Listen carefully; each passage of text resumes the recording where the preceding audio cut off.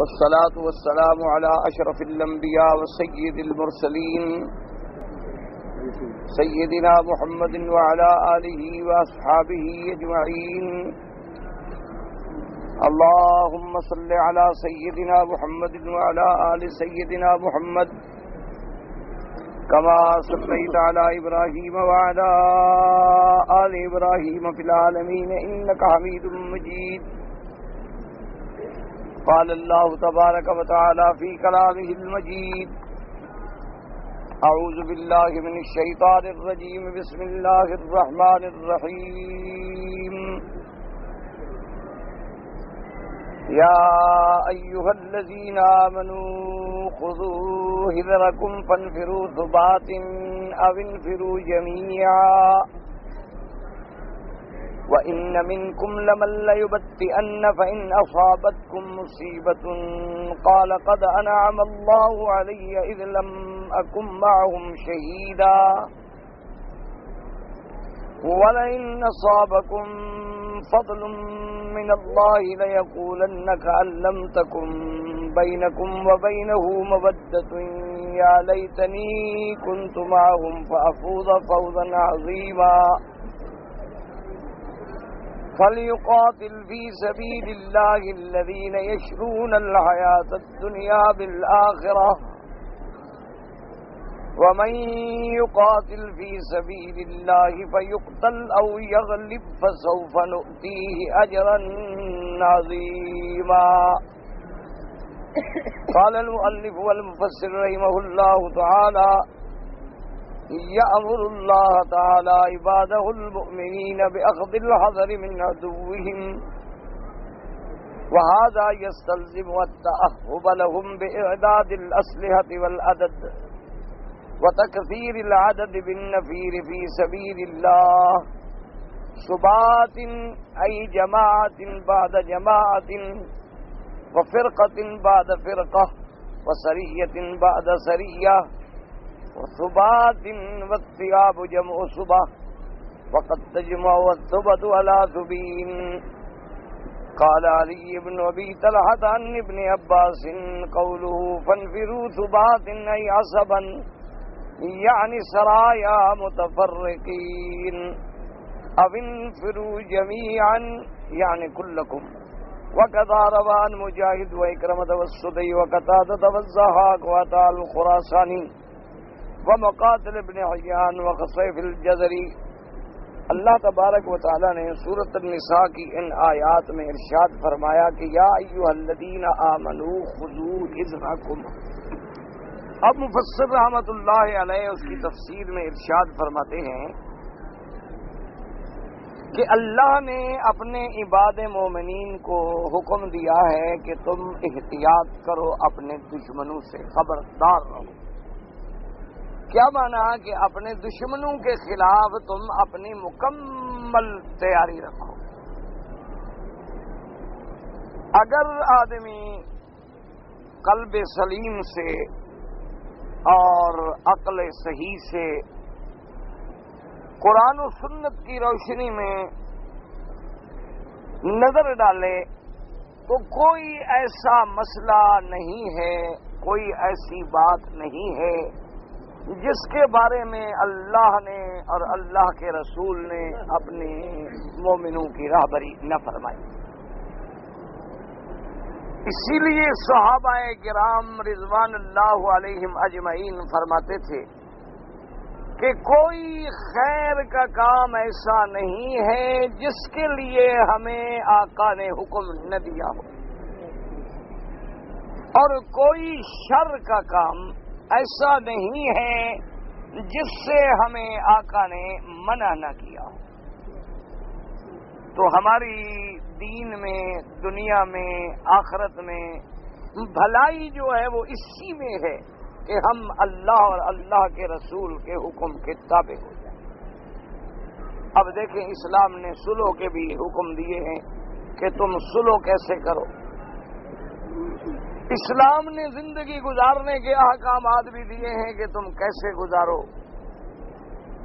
اسلام نے غیر مسلموں سے، کافروں سے، یہودیوں سے، نصارہ سے ہندو سے یعنی جتنے کافر ہیں، ان سے بھی معاملہ کرنے کا اسلام نے باقاعدہ ہدایات دی۔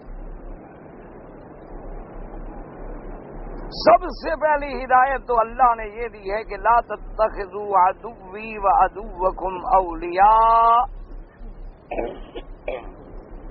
سب سے پہلی ہدایت مسلمانوں کے لیے یہ ہے، اللہ نے فرمایا کہ میرے دشمنوں کو اور اپنے دشمنوں کو کبھی دوست نہ بناؤ۔ سب سے پہلا فرمان جو ہے وہ یہ۔ کہ لا تتخذوا عدوی و عدوکم اولیاء، کہ میرے دشمن اور تمہارے دشمن، ان کو کبھی اپنا دوست نہ سمجھنا، کیوں؟ بعض ہم اولیاء و بعض وہ کافر ایک دوسرے کے دوست تو بن سکتے ہیں، لیکن مسلمانوں کے دوست نہیں بن سکتے۔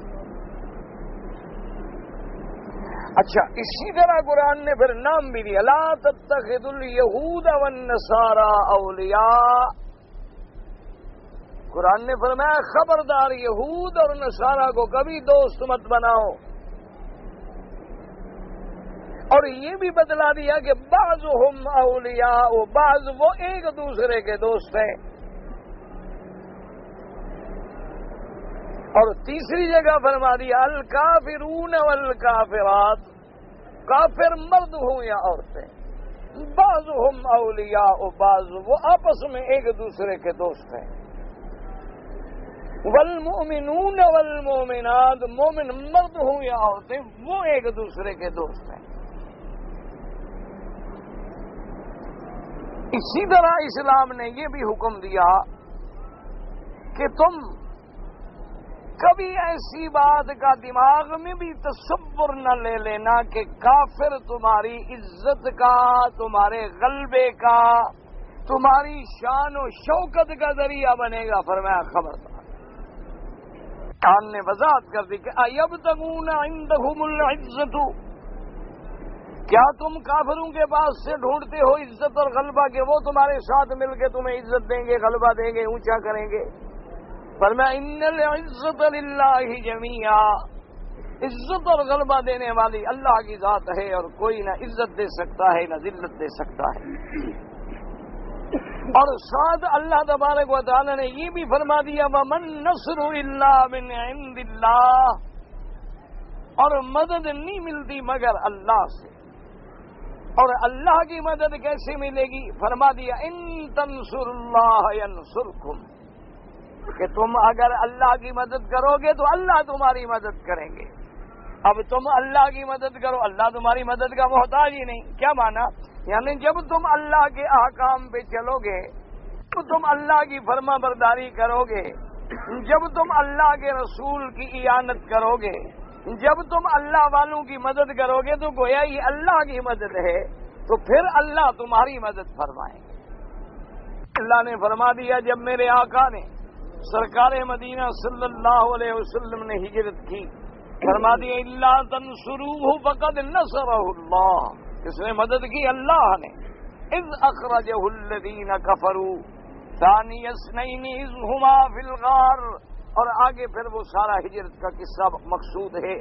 اور اسی طرح اللہ نے حکم دیا کہ یا ایوہ النبی جاہد الکفار والمنافقین، بغلظ علیہم ومأواہم جہنم وساعت مسیرہ اللہ نے حکم دیا کہ میرے پاک پیغمبر کافروں سے اور منافقین سے جہاد کریں، ان پہ سختی کریں، ان کے ساتھ درستی کریں، ان کے ساتھ سختی کا معاملہ کریں، اور ان کا تو ویسے بھی برا ٹھکانا ہے، مال ان کا جہنم ہے۔ اچھا اسی طرح اللہ نے جہاد کی عظمت بھی قرآن میں بیان فرما دی کہ مجاہد کا کیا مقام ہے، اور غازی کا کیا مقام ہے، اور شہید کا کیا مقام ہے۔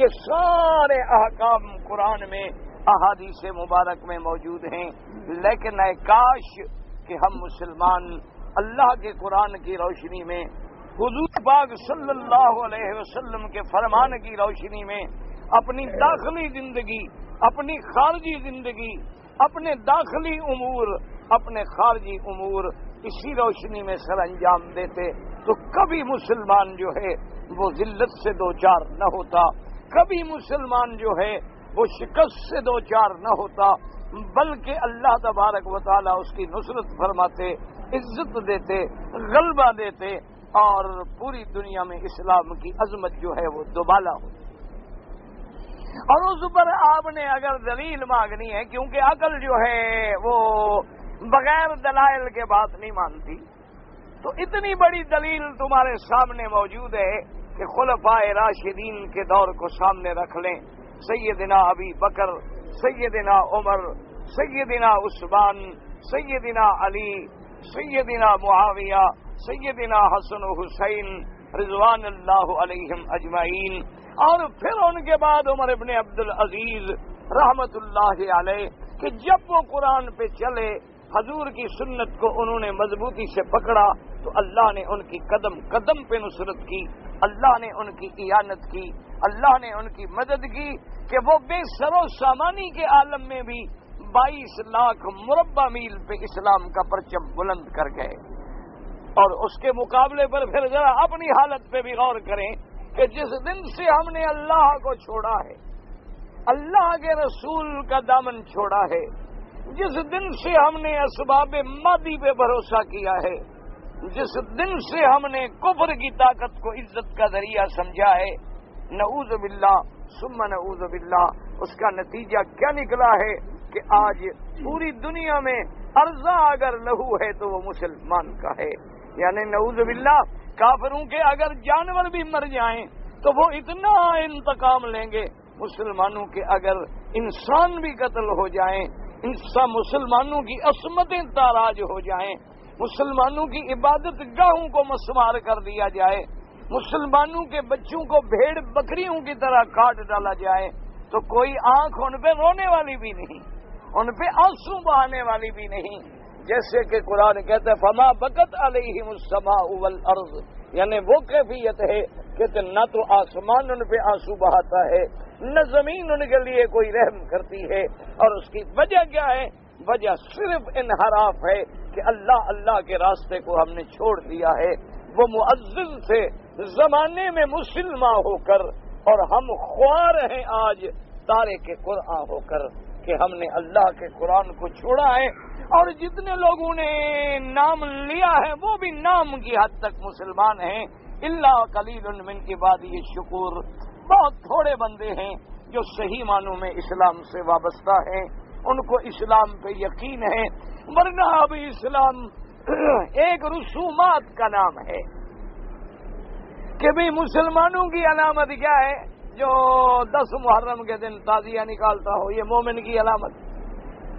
گھوڑا نکالتا ہو، تازیہ نکالتا ہو، ماتم کرتا ہو، پکا مومن۔ جو بارہ نبی الاول کو جھنڈیاں جلوس نکالے، سبحان اللہ، وہ تو پکا آل سنت ہے پکا آل سنت یعنی مور لگ گئی اس کی سنت پر۔ پتہ نہیں آل سنت کا ترجمہ بھی آتا ہے کہ نہیں؟ آل سنت مانا سنت ہے کس کا طریقہ؟ ہاں جی؟ سنت کس کے طریقے کو کہتے دیکھو، یاد رکھو، حدیث مبارک بھی حضور کا فرمان ہے۔ لیکن حدیث مبارک ایسا بھی ہوتا ہے نا، ایک حدیث کا حکم منسوخ ہو گیا۔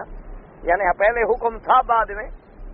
نہیں رہا، جیسے حضرت عبداللہ ابن مسعود رضی اللہ تعالیٰ فرماتے ہیں میں باہر سے آیا، حضور نماز پڑھ رہے تھے، تو میں نے کہا، السلام علیکم یا رسول اللہ، صلی اللہ حضور نے جواب نہ دیا۔ میں نے دوبارہ سلام کیا، حضور نے جواب نہ دیا۔ میں نے تیسری دفعہ سلام کیا، حضور نے جواب نہ دیا۔ میں تو پھر روتا ہوا، باہر آ گیا حضور ناراض ہو گیا، سلام کا جواب نہیں دیا۔ پہلے تو جواب دیتے تھے نماز میں۔ تو جب حضور فارغ ہوئے، فرمایا، بلاؤ میرے صحابی کو، فرمایا، اب اللہ نے منع کر دیا ہے، نماز میں سلام کا جواب اب نہیں دیا جاتا۔ تو اب پہلے حدیث میں ایک حکم تھا، لیکن بعد میں ختم کر دیا، لیکن سنت کبھی منسوخ نہیں ہوتی۔ سمجھ آ رہے ہیں؟ بس سنت وہ ہے جو طریقہ حضور نے۔ تو اہل سنت، اہل سننا کا کیا مانا ہے؟ نبی کے طریقے والے۔ ول جماعت جماعت سے کیا مراد ہے؟ صحابہ، یاد رکھو، جماعت سے کیا مراد ہے؟ صحابہ یعنی حضور کے طریقے والے اور صحابہ کے طریقے والے، وہ کون ہوتے؟ ہیں اہل سنت۔ ول جماعت اچھا اب مجھے میں بغیر کسی اختلاف کے، بغیر کسی دے بندی بریلوی کے جھگڑے کے جھگڑوں وگڑوں میں نہ پڑے اللہ ہر مسلمان کو جھگڑے سے بچائے۔ اللہ ہر مسلمان کو اختلافات سے بچائے۔ ہم کلمہ پڑھنے والے ہیں، مسلمان ہیں اور اللہ کے کعبے میں اس وقت بیٹھے ہیں، ٹھنڈے دل سے سوچیں۔ ایمان سے کہیں کہ جو ہم بارہ ربیع الاول کو کرتے ہیں، یہ کون سی سنت ہے؟ سور باغ نے کیا تو سنت بنے نا۔ یعنی حضور کا طریقہ ہے۔ سور نے اپنا، اپنی پیدائش کے دن کا باقاعدہ سالگرہ منانے کا انتظام کیا۔ اچھا حضور پاک نے اپنے دادا، اپنے ابا، سیدنا اسماعیل، سیدنا ابراہیم، سیدنا اسحاق، سارے نبی ہیں نا؟ اچھا سب سے بڑے ابا حضرت آدم، ان کی سالگرہ منائی؟ ٹھنڈے دل سے۔ اگر حضور نے یہ کام نہیں کیا تو معلوم ہوا سنت نہیں ہے۔ اچھا صحابہ میں سے کس کس نے کیا؟ خلفائے راشدین نے۔ اصحاب بدر نے، اشرا مبشرہ نے، مہاجرین و انصار نے نہیں کیا۔ تو مانا ول جماعت بھی، نہیں تو پھر اہل سنت ول جماعت کہلانے کا کیا مطلب؟ موٹی سی بات ہے، آسان سی بات ہے ٹھنڈے اچھا جناب، یہ گھوڑے نکالنے والی سنت کس کی ہے؟ ختم کرنے والی۔ سیاہ کپڑے، چار پائیاں الٹی، سر کالا، پیر نیلے، ہاتھوں میں خنجر لوہا، چھریاں، کانٹے، انگارے، آگ پہ چلنا، یہ کس کی سنت ہے؟ غور فرما لیں۔ چلو بھائی حضور کی بھی نہیں، صحابہ کی بھی نہیں، اہل بیت کی۔ حضرت حسن حسین کی شہادت کے بعد ان کے خاندان میں سے کس کس نے ایسا کیا؟ حضرت زین العابدین نے، ان کی اولاد نے۔ حسن عسکری نے اشا کاظم نے، کس نے؟ انا للہ و انا الیہ وجہ کیا ہے؟ بس ایک رسوم ہے۔ بس ہر کسی کی کچھ کچھ رسمیں ہیں، ہر مذہب کی کچھ نشانیاں ہیں، کچھ علامات ہیں۔ بس لوگوں نے انہی کو پکڑا ہوا ہے کہ لوگ دیکھیں تو سمجھیں کہ جناب ہم مسلمان ہیں۔ بھائی دلیل کیا ہے؟ انہوں نے کہا جی دلیل کمال ہے۔ دس دن ہم روتے روتے مر جاتے ہیں، اس سے بڑی دلیل بھی کوئی ہے؟ اچھا ابھی تمہارے پاس کیا دلیل ہے؟ انہوں نے کہا جی کمال ہے ستائیسویں رجب کو ہم میراج شریف مناتے ہیں۔ اور جناب بارہ کو ہم جناب باقاعدہ جلوس نکالتے ہیں۔ گیارہویں کو ہم دودھ تقسیم کرتے ہیں۔ ہر بزرگ کا ہم عرص شریف مناتے ہیں۔ اس سے بڑی اور اسلام کی کیا نشانی ہو نہ ایمان سے کہ حضور نے کیا فرمایا، اسلام کی نشانیاں کیا ہیں؟ بنی الاسلام والا، اسلام کی بنیاد کن چیزوں پہ ہے؟ پانچ پہلی کیا ہے؟ شہادت اللہ الہ الا اللہ عنہ محمد رسول اللہ توحید۔ دوسرا کیا ہے؟ اقام سلاد نماز کی پابندی۔ تیسرا کیا ہے؟ زکوٰۃ کی ادائیگی۔ چوتھا کیا ہے؟ سوم و رمضان۔ پانچواں کیا ہے؟ حج۔ اچھا اس میں کہیں بارہ نبی الاول، ستائیسویں معراج شریف، گیارہویں شریف، عرس شریف، جمعرات شریف، یہ کوئی ہے؟ کہاں سے آ گئی آخر؟ انا للہ و انا الیہ راجعون۔ اچھا اللہ نے رسول نے حکم دیا ہے آمنا کے لال سرکار مدینہ محمد الرسول اللہ صلی اللہ علیہ وعلا علیہ وسلم۔ ایک دو لفظوں میں فیصلہ کر دیا۔ فرمایا، من عمل عملا، جو شخص کوئی عمل کرے، اس پہ میری مہر نہ ہو تو اللہ منہ پہ ماریں گے۔ رد من احدث فی امرنا هذا ما ليس منه فهو رد حضور نے فرمایا جو میرے دین میں نئی چیز پیدا کرے، جس کا قرآن میں ثبوت نہیں، حدیث میں نہیں جماعت صحابہ میں نہیں، وہ مردود ہے، وہ اللہ کے ہاں قبول نہیں ہوگا۔ ٹھنڈے دل سے غور کرو، سوچو کہ ہم کہاں جا رہے ہیں؟ عیسائیوں نے اپنی تاریخ کو میلاد سے شروع کیا۔ انیس سو ستانوے کیا ہے؟ میلادی ہے۔ اور چودہ سو اٹھارہ کیا ہے؟ ہجری ہے۔ تاریخ ہجری کی ابتدا اصحاب رسول نے کی ہے اور میلادی کی ابتدا عیسائیوں نے کی ہے۔ اور سالگرہ منانے کے موجد جو ہیں وہ عیسائی ہیں۔ آج تو خیر، ہر مسلمان سالگرہ مناتے ہیں، ماشاءاللہ۔ بچے کی سالگرہ، بچی کی سالگرہ، اب تو خیر شادی کی بھی سالگرہ۔ پتا نہیں کچھ عرصے کے بعد یہ کہیں طلاق کی بھی سالگرہ نہ منائے اللہ و انا راجعون۔ اس کے علاوہ بھائی ہمارے بس میں تو کوئی نہیں۔ یہی ہے کہ بس ہم مصیبت میں اللہ کی طرف لوٹیں اور اللہ کی طرف رجوع کریں، ورنہ اور تو پلے میں کچھ نہیں۔ سمجھاتے سمجھاتے تو آدمی بھر گیا۔ اسلام کی عظمت کے سمے ہے جہاد میں۔ اس لیے اللہ نے حکم دیا کہ یہ نہیں کہ تم ایسے بیٹھ جاؤ، یہ کہو کہ بس ہمارے بزرگ جو ہیں نا بیٹھے ہوئے ہیں ماشاء اللہ جب لڑائی ہوگی نا، اگر دشمن نے ہم پر حملہ کیا، ویسے پھونک جو ماریں گے نا، بس دشمن اڑ جائے۔ گا کہتے نہیں ہے کہ انیس سو پینسٹھ میں جب لڑائی ہوئی، جب دشمن بم جو پھینکتا تھا نا، بزرگ بالکل راوی کی پل پہ کھڑے رہتے تھے، پکڑ لیتے تھے۔ اکہتر میں سارے بزرگ ناراض ہو گئے۔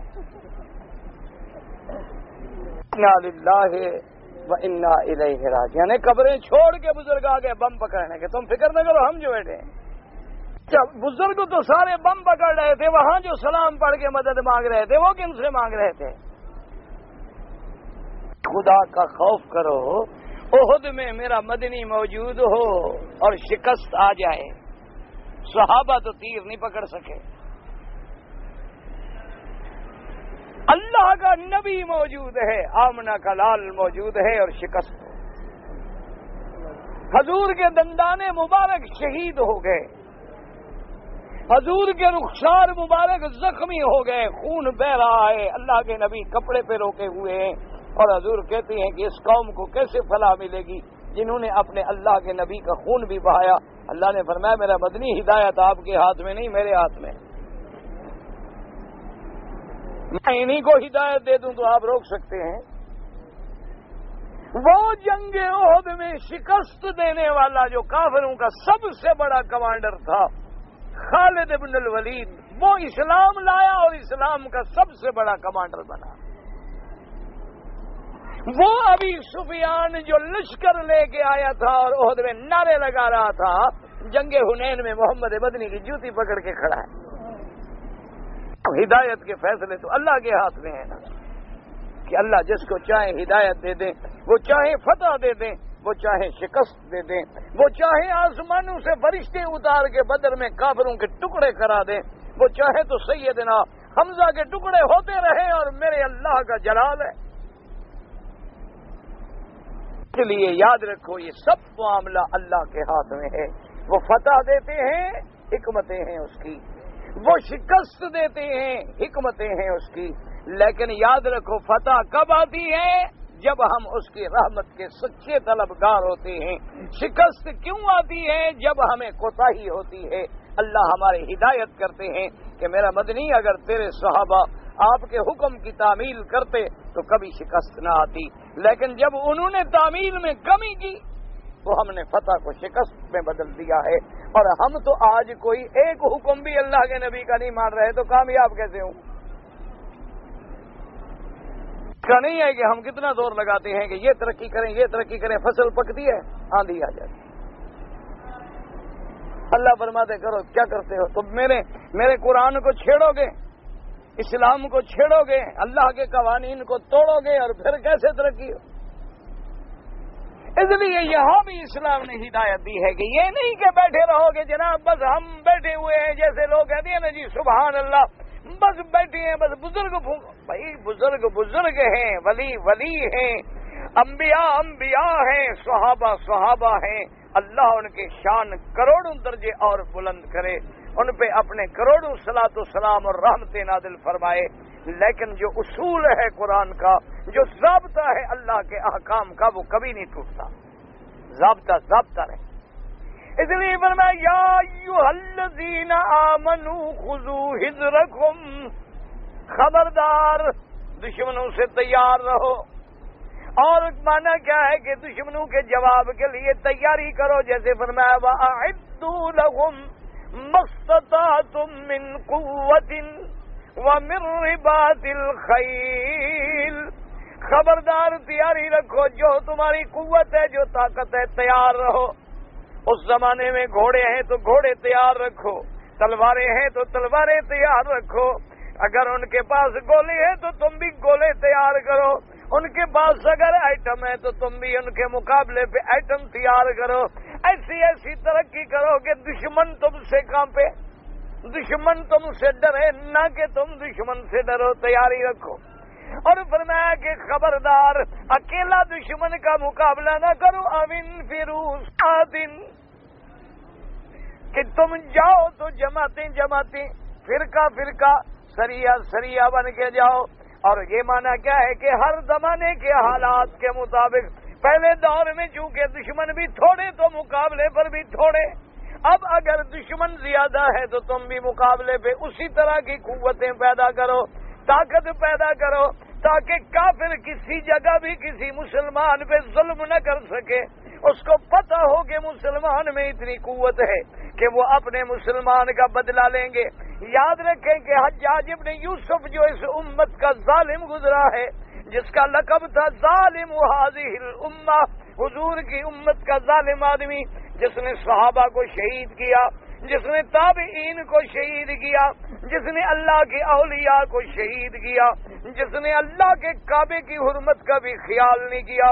عبداللہ ابن زبیر کو شہید کرنے کے لیے کابت اللہ پہ بھی منجینی کو سے حملہ کرایا، اور جس کی لغت میں رحم کا کوئی لفظ نہیں تھا جس کے دور میں تیس تیس ہزار آدمی بغیر کسی مثل کے بغیر ریکارڈ کے جیلوں میں پڑا تھا اور جس کے پاس ماں سوائے سزا موت دینے کے کوئی آرڈر نہیں تھا، لیکن اس کے اندر بھی اسلام کی غیرت کا یہ عالم تھا کہ تیرے سندھ کے علاقے سے جب راجہ داہر نے مسلمان لڑکیوں پہ زیادتی کی، ان کا جب خط پہنچا تو حجاج تڑپ اٹھا۔ اتنا بڑا ظالم تھا، لیکن غیرت تھی۔ ضمیر زندہ تھا۔ محمد ابن قاسم کیوں گیا تھا وہاں؟ کوئی سیر کرنے گیا تھا؟ باب قاسم جو آپ نے بنائے ہوئے ہیں اور ساری علامتیں بنائی ہوئی ہیں، وہ کیا کرنے گیا تھا یہاں عرب کی سرزمین سے؟ نہ جہاز تھے، اس زمانے میں نہ ہوائی جہاز تھے کہ پانچ گھنٹے میں پہنچ جاتے۔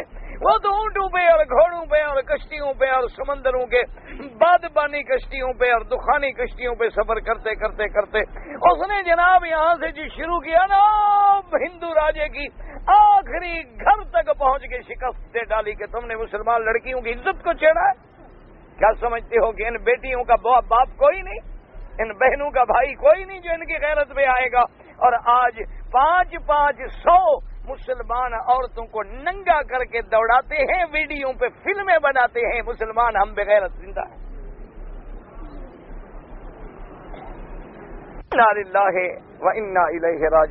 دعا تو کر لیا کرو، اور کچھ نہیں ہے۔ وہ بھی اب دعا بھی تو خیر ہماری وہی ہے جو نیت منظور ہوتی، عمل ہو تو منظور ہو۔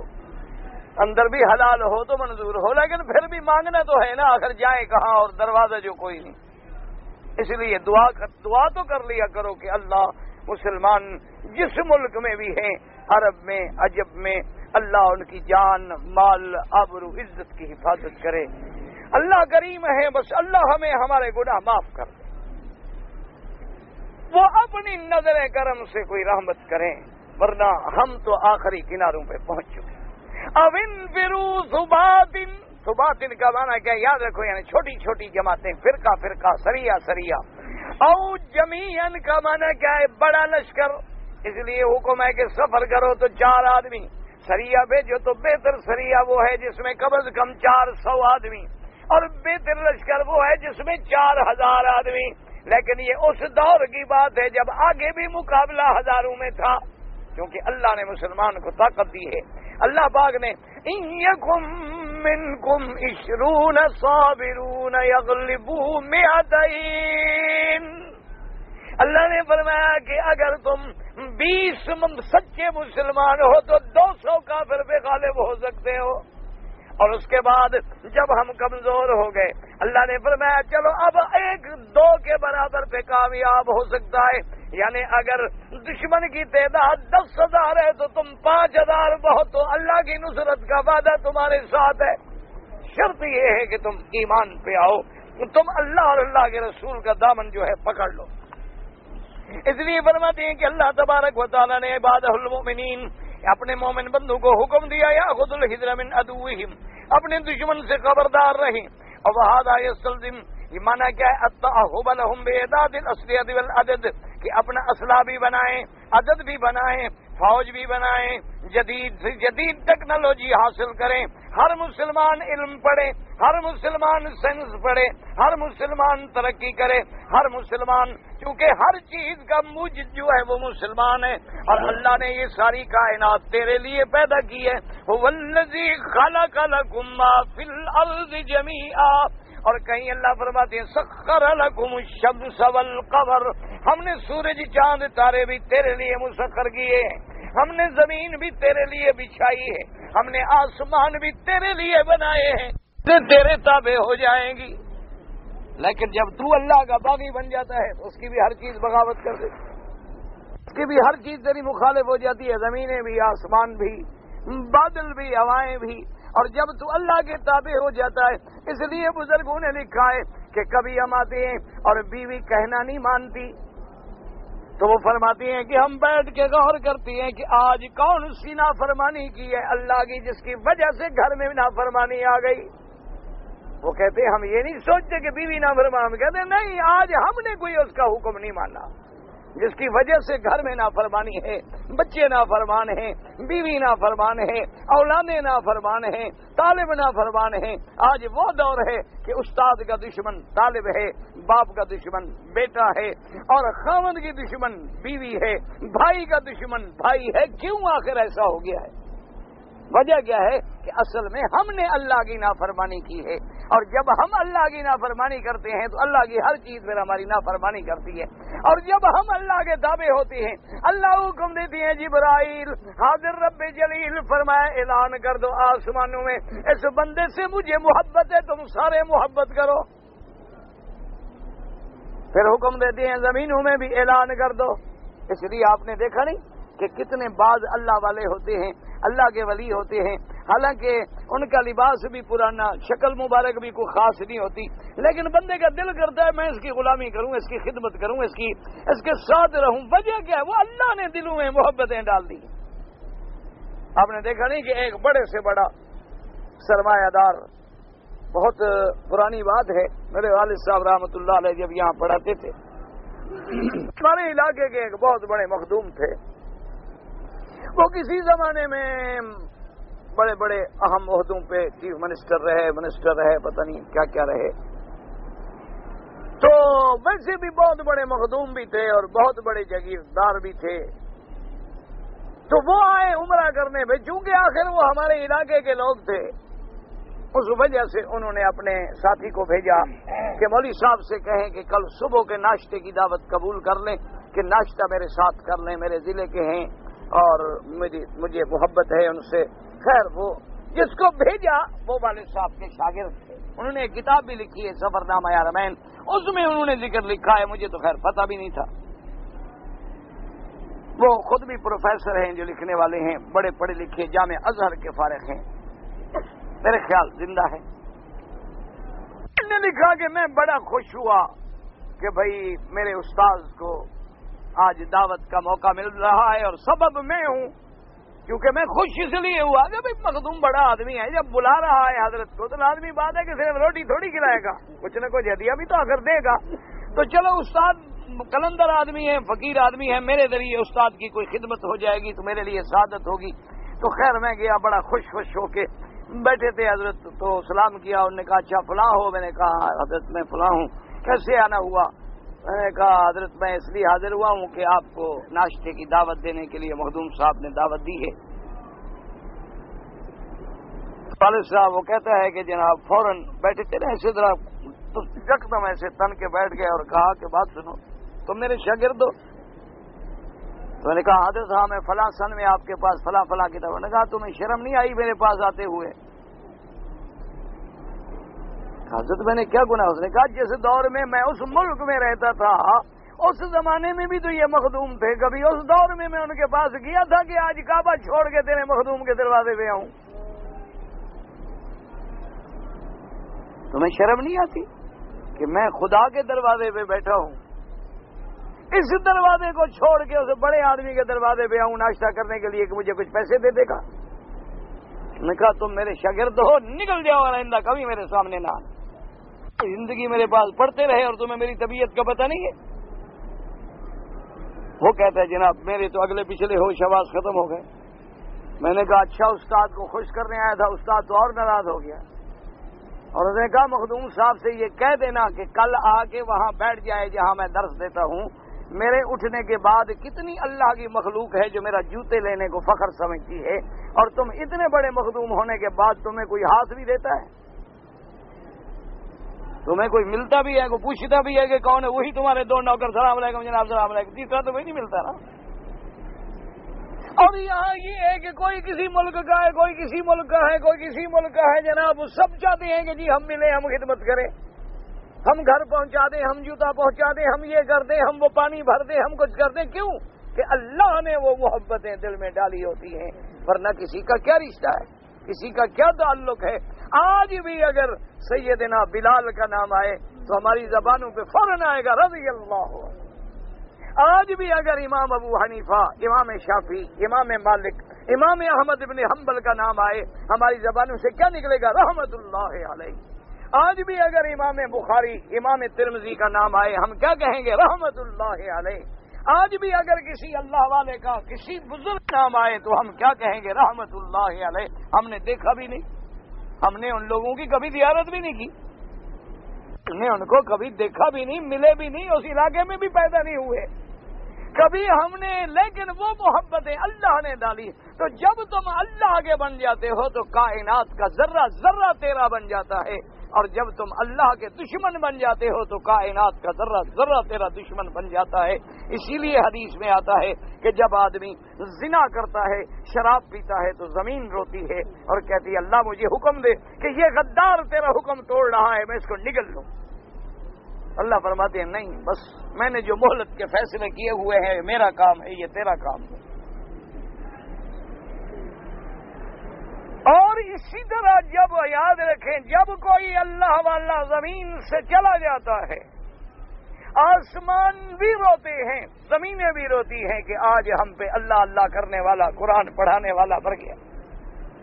پہاڑ روتے ہیں، زمینیں روتی ہیں کہ ہائے، ہم پہ گزرتا تھا روزانہ قرآن، روزانہ ذکر، روزانہ حدیث، آج جگہ خالی ہو گئی، وہ جگہیں روتی ہیں۔ اور دولت والا مر جائے تو سب سے پہلے ابھی جنازہ گھر میں ہوتا ہے اور جوتے ہاتھ میں ہوتے ہیں اولاد کے۔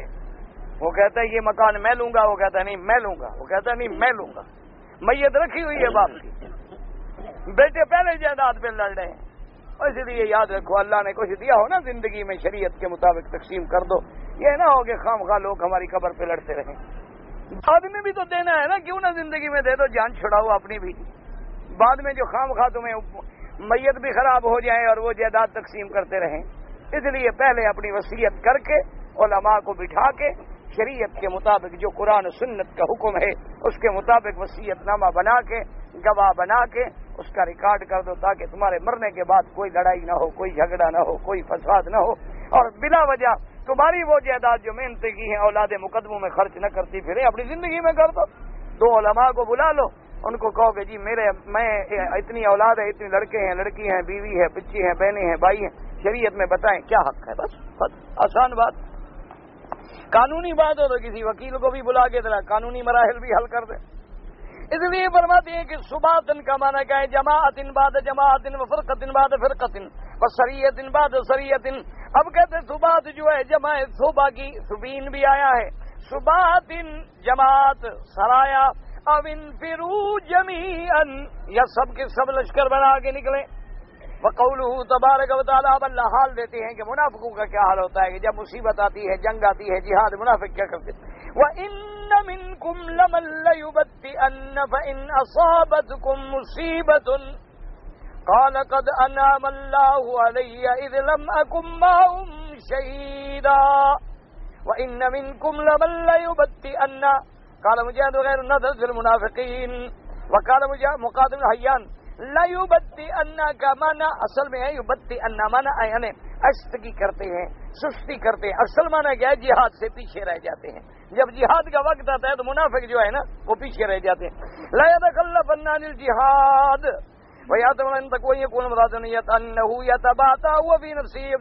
جہاد یعنی خود بھی سستی کرتی ہیں اور دوسروں کو بھی روکتی ہیں۔ خیال کرو خیال کرو، نہ جانا بابا مسلمان تو مارے جائیں گے، تم بھی مرو گے خام خواہ یہ کیا ہے؟ تین سو تیرہ ہے اور ہزار سے لڑنے جا رہے ہیں۔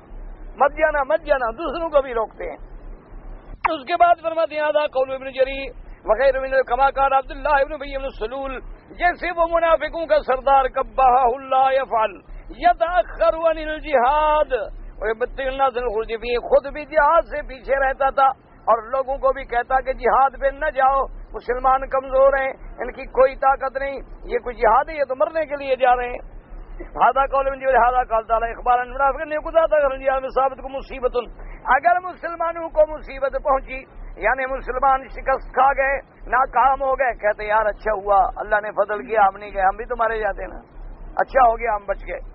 ائی قتل و شہادت لما بھی حکمتی حالانکہ اس میں بھی اللہ کی حکمت ہے کہ اگر مسلمان مارے نہ جائیں تو شہادت کا مرتبہ کیسے ملے؟ ہر چیز میں اللہ کی حکمت ہے۔ اللہ فتح دے تو حکمت ہے۔ اللہ شکست دے تو حکمت ہے۔ اللہ سکھ دے تو حکمت ہے۔ اللہ دکھ دے تو حکمت ہے۔ ہر حال میں بندہ راضی رہے۔ اگر دکھ آئے تو صبر کرے۔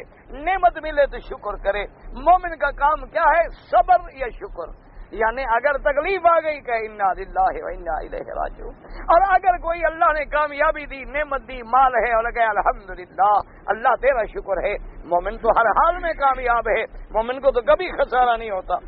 کہتے ہیں کال قد ان اللہ علیہ اذلم اکم باہم شہیدا۔ ای اذلم احضر ماہم وقاتل قتال باز یعد ذالک من نعم اللہ۔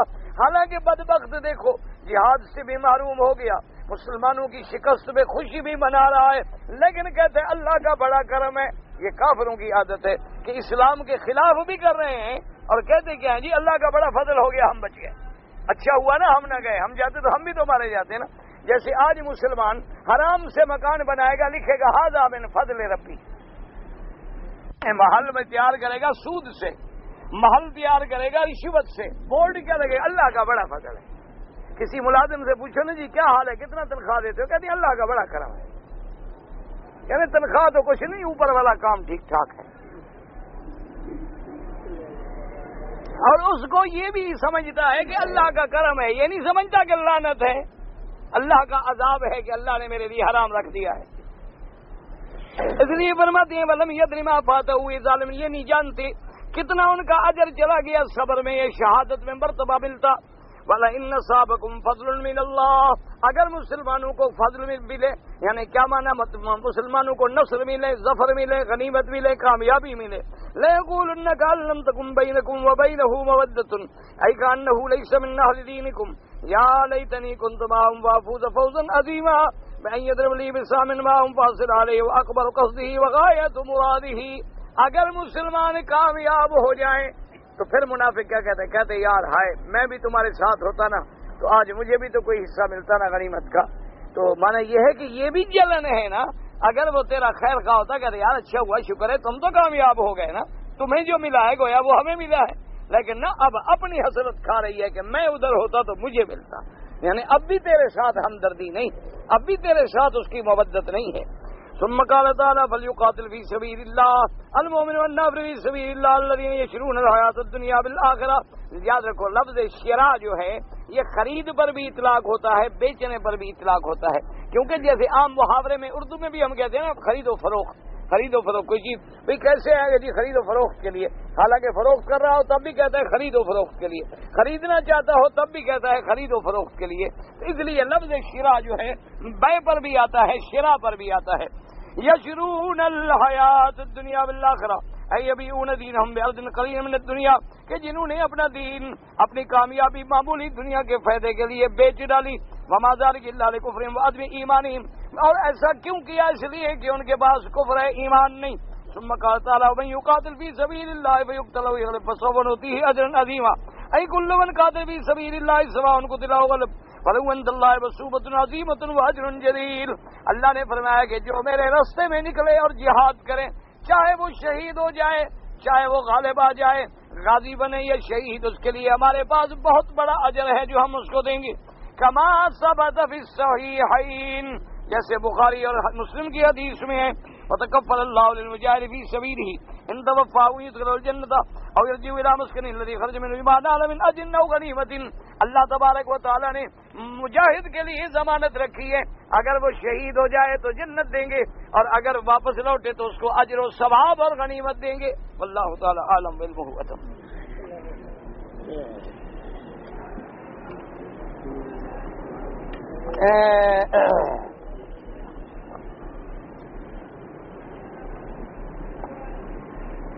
کہتے جی کہ اگر کوئی حکمران ہمیں بھئی موٹی بات ہے، جتنے حکم اسلام کے مطابق ہیں، اطاعت کرو، جو اسلام کے خلاف ہے نہ کرو۔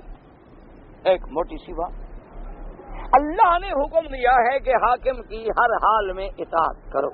لیکن جب وہ تمہیں کفر بوا، ظاہر کفر کا حکم کرے، قرآن و سنت کے خلاف تو اس کی اطاعت نہ کرو۔ تو جتنے حکم اسلام کے مطابق ہیں، اطاعت کرو۔ اگر کوئی حکم اللہ رسول کے خلاف ہے، آپ نہ مانیں۔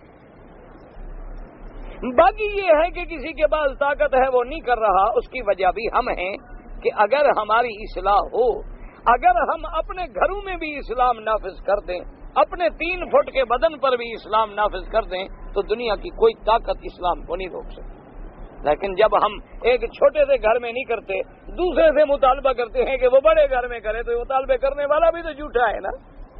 بھائی جتنا اختیار اللہ نے تمہیں دیا ہے، تمہیں اختیار ہے بیوی پر۔ بچوں پر اپنے گھر کے تین کمروں میں، وہاں تو اسلام نافذ کرو نا، تم بھی تو پابند ہو نا۔ پھر دوسرے سے مطالبہ کرو، بات تو تب ہوتی ہے۔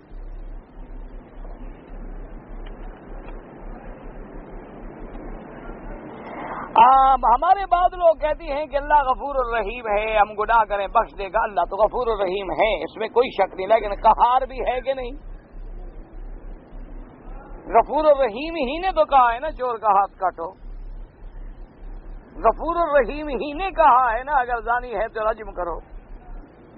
غفور الرحیم ہی نے سزا مقرر کی ہے نا سو کوڑا مارو۔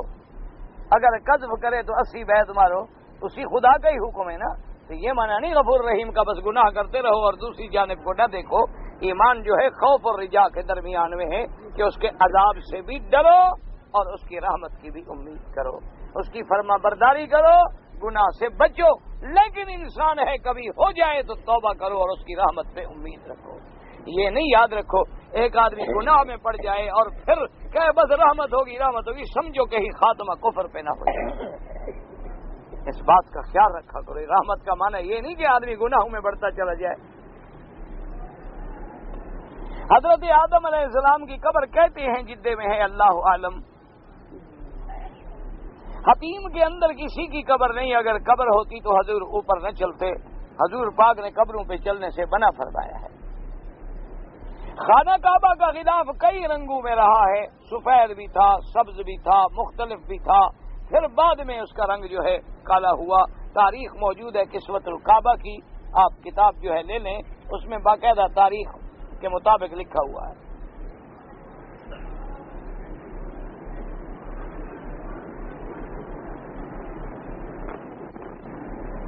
اگر کوئی آدمی مدینہ منورہ سے کام کے لیے آیا، مکہ مکرمہ، احرام نہیں باندھا، تو امام ابو حنیفہ رحمۃ اللہ علیہ کے نزدیک تو اس پر دم ہے کہ وہ عمرہ بھی قضا کرے اور دم بھی ادا کرے۔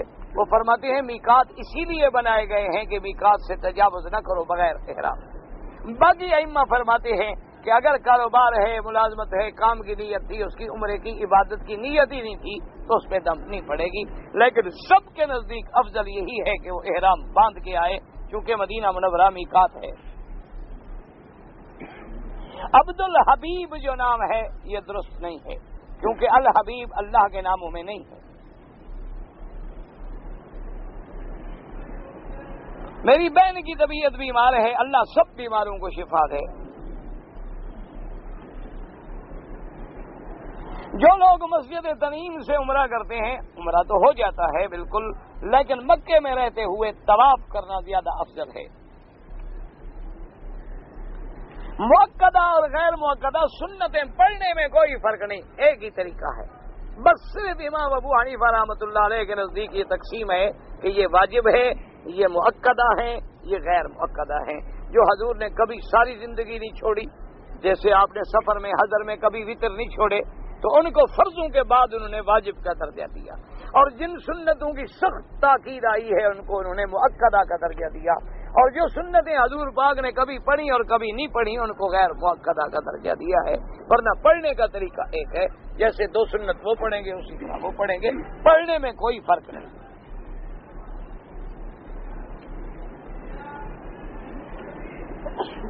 کہتے جی کہ کفن جو لوگ زمزم سے دھو کر لے جاتے ہیں اور اپنے مردوں کو ڈالتے ہیں، تو ان مردوں کو فائدہ ہوگا۔ اگر مردہ مومن ہو تو فائدہ ہوگا۔ رام چندر پہ جو جا کے ڈال دو تو اس کو کیا فائدہ ہوگا؟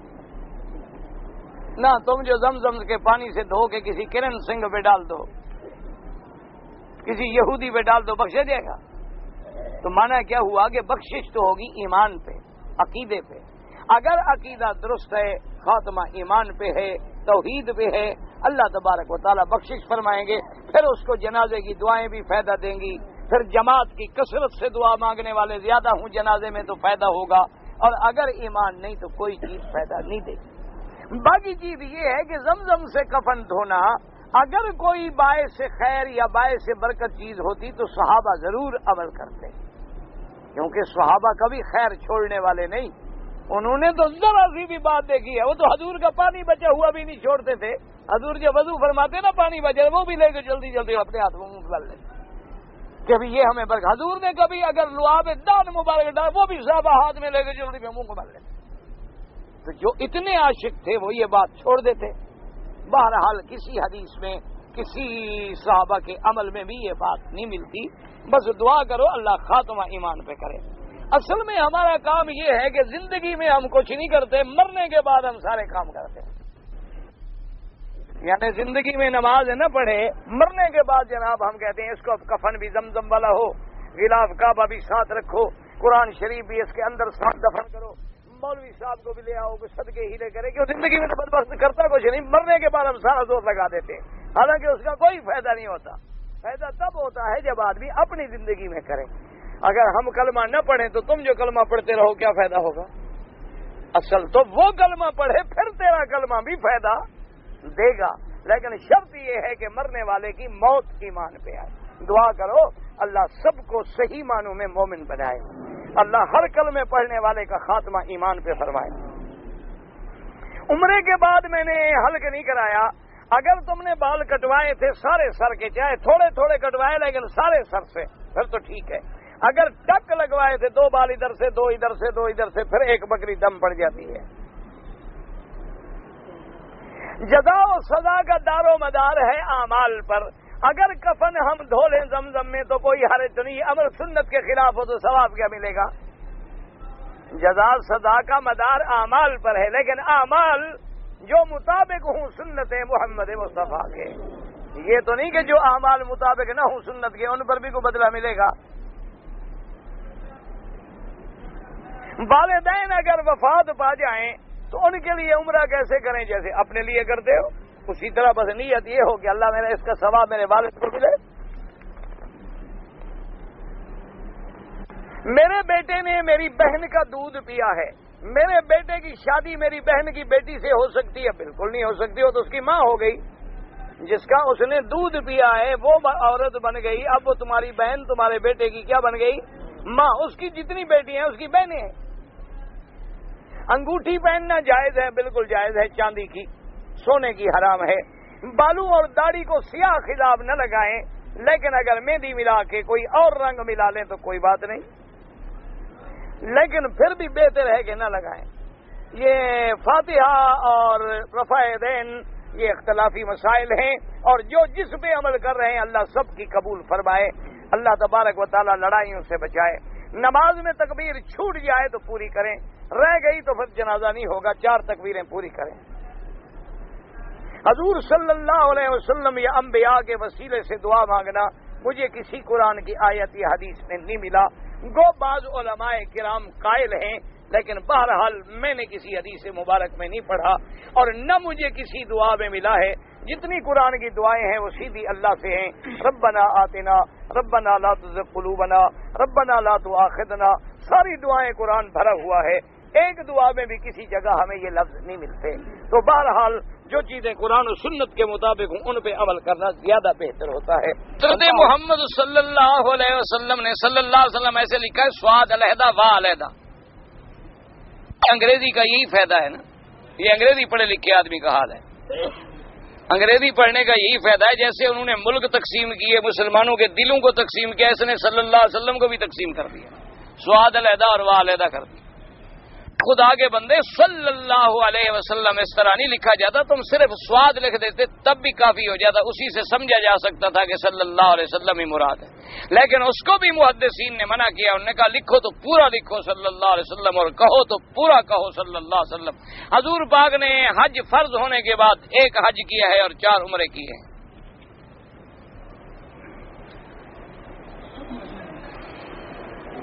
ہمارے انڈیا میں ایک رواج ہے کہ بچہ جب چار سال، چار ماہ اور چار دن کا ہوتا ہے تو بچے کو بسم اللہ پڑھاتے، خالص بدت ہے، بالکل گنا ہے، اس میں شریک ہونا بھی گنا ہے، کھانا کھلانا بھی گنا ہے، کھانا بھی گنا ہے۔ یہ چار مہینے، چار دن، چار سال، پتہ نہیں کہاں سے نکلے۔ نہ اس کا کوئی قرآن سے تعلق ہے نہ اس کا کوئی حدیث سے تعلق ہے، نہ اس کا کسی حضور پاک کی اولاد کے ساتھ تعلق ہے، نہ صحابہ کی اولاد کے ساتھ تعلق ہے۔ یہ بالکل لوگوں نے بسم اللہ کی رسمیں گھڑی ہوئی ہے مدینہ روڈ پر نوریا میں جو پتہ نہیں خبر ملتا ہے، غیر ملتا ہے، کس کا ہے؟ حضور کی بیوی بی کا ہے۔ بی بی میمونہ حضور کی بیوی تھی۔ وہ بی بی میمونہ یہ مقام صرف ہے، اس جگہ کا نام ہے صرف۔ اور خدا کی شان یہ ہے، یہ حضور کی بیوی جو ہے، بیوی میمونہ رضی اللہ تعالی عنہ اسی بستی میں پیدا ہوئی مقام صرف میں۔ اور پھر واپسی پر جب ہجرت پہ حضور حج کے لیے حضور پا کر رہے تھے، تو شادی بھی اسی جگہ ہوئی بی بی کی۔ اور بی بی فوت بھی اسی جگہ ہوئی اور قبر بھی اسی جگہ بنی۔ تو یہ حضور صلی اللہ علیہ وسلم کی بیوی کی قبر مبارک۔ وہاں سج دینا شروع کر دینا۔ محفوظ رہنے دو۔ اللہ کی رحمت ہے نا، وہاں نوریا میں ہمارے رہتے ہیں نا، یہ صفائی کرنے والے میں بھی کافی اللہ کا فضل ہے، بتی ہے۔ کافی ہیں ماشاء اللہ حلوائی، گیارہویں والے بہت ہیں۔ اللہ دعا کریں، اللہ کعبے کی برکت سے ان کے عقیدوں کو بھی ٹھیک کر دیں ایسا نہ ہونا کہ حرم کی صفائی کرتے کرتے لوگوں کے عقیدے کی بھی صفائی کر دو، وہاں غلاف ڈال کے مجاور بن کے بیٹھ جاؤ۔ اگر بیٹھے نا، یہاں ماشاء اللہ بڑے ٹھیک ٹھاک لوگ ہیں، ایک دن میں ساری پیری پیری نکال دیں گے اندر باہر سے۔ ان کو پیروں کو ٹھیک کرنا بڑا آتا ہے۔ اچھا جی کہتے ہیں ہمارے معیار اخلاق بہت گر چکے ہیں۔ دعا ہی کرو، میں نے تو بتا دیا تھا نا کہ اب مریض لب مرگ ہے علاج سے نہیں ٹھیک ہو سکتا۔ اب امت محمد مصطفیٰ کو دعاؤں کی ضرورت ہے۔ اب ہم اس مقام پہ آ گئے ہیں کہ اب کوئی انجیکشن، کوئی کشتہ ہمیں کارگر نہیں ہو سکتا۔ کیونکہ نہ ہمیں پر مدارس نے اثر کیا، نہ علماء نے اثر کیا، نہ تبلیغ نے اثر کیا، نہ دین نے اثر کیا۔ جہاں سے ہم چلے تھے، وہیں کھڑے۔ تو اب ہم اس مقام پہ آ گئے ہیں کہ دعا ہی کرو کہ اللہ امت محمد مصطفیٰ پہ رحمت کرے اور ان کو حق اور باطل کی پہچان دے اور ان کو قرآن و سنت پہ چلنے کی توفیق دے۔ پہلی رکعت میں اور دوسری رکعت میں سورت نہیں پڑی تو نماز ہی نہیں ہوئی، بات ختم۔ اگر اکیلے ہو، امام کے پیچھے ہو تو امام کا پڑھنا کافی ہے۔ اگر صبح کی نماز اکیلے پڑھی جائے تو نماز جمعہ ہو جاتی ہے یا ظہر ادا کریں پھر صبح کی نماز کا جمعہ کے ساتھ کیا تعلق ہو گیا؟ وہ اکیلے پڑھو یا جمع یہ تو وہی ہے کہ جی چونکہ میں نے روزہ نہیں رکھا تو تراوی کیسے پڑھوں؟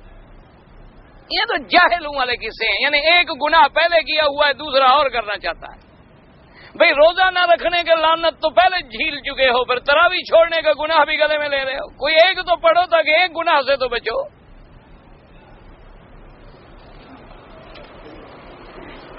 سال السلام دنیا پہ کتنے سال حکومت کریں گے؟ چالیس سال ابھی تم جو کر رہے ہو، تمہاری کوئی کم ہے؟ کیا تبارک و تعالیٰ معاف فرمائے، ایک مولوی صاحب نے خدا کرے بات غلط ہو۔ اس نے موجودہ دور کی کسی عورت کے نام میں کسی کا نہیں لیتا، چونکہ الحمدللہ نہ ہماری کسی سے دشمنی ہے، نہ عداوت ہے، نہ کسی سے کوئی پارٹی ہے۔ اللہ ہمیں بچائے، اللہ ہماری حفاظت کرے۔